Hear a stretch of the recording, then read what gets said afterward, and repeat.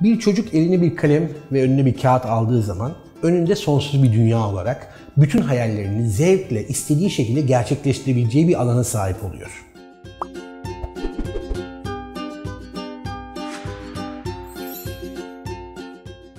Ta ki bir yetişkin, genellikle üzülerek söylüyorum, anne baba ya da bir öğretmen gelip ona onu o şekilde değil ya da o rengin yanına o renk yapılmaz ya da fil öyle olmaz diyerek eleştirmeye başlayana kadar. O sonsuz dünya bir anda çocuğun sadece dış dünyadaki şeylere benzer bir şeyler çizmesi gerektiğini anlattığımız daracık ve kısıtlı bir dünyaya dönüşüyor. Bu elbette çocuğun sanat yaparken yaşayacağı birçok tecrübeden de mahrum kalması demek.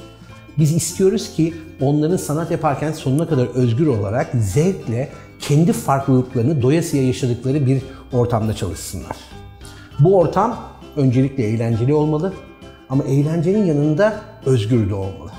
Özgür bir ortamda bir bilen ne yazık ki olmaz. Genellikle anne ve babalar, aynı zamanda öğretmenler çocukların yanında her zaman bir bilen olarak yer alıyorlar ve o bilen olma durumu çocuğu sanat yaparken ne yazık ki kısıtlayan bir olguya dönüşüyor.